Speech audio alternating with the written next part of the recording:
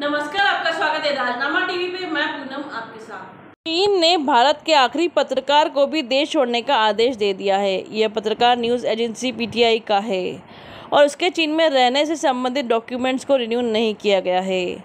चीन का आरोप है कि भारत में उसके जर्नलिस्ट से सही बर्ताव नहीं किया जाता।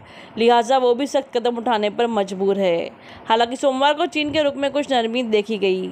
उसकी फॉरेन मिनिस्ट्री ने कहा, उम्मीद है दोनों देश इस तनाव को दूर करने के लिए बीच का रास्ता निकालेंगे। बहरहाल भारत से पहले यही सलूक अमेरिका ऑस्ट्रेलिया के साथ भी किया जा चुका है। डोनाल्ड ट्रंप जब प्रेसिडेंट थे, तब उन्होंने चीन की इन हरकतों को माकूल जवाब दिया था।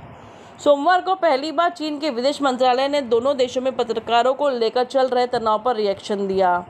फॉरेन मिनिस्ट्री के स्पोक्स पर्सन वोंग वैनबिन ने कहा, हालिया कुछ सालों में चीन के पत्रकारों के साथ भारत में सही बर्ताव नहीं किया गया। वह भेदभाव का शिकार हुए। इसके बावजूद हमें उम्मीद है कि भारत हमारे पत्रकारों को वीज़ा जारी करता रहेगा।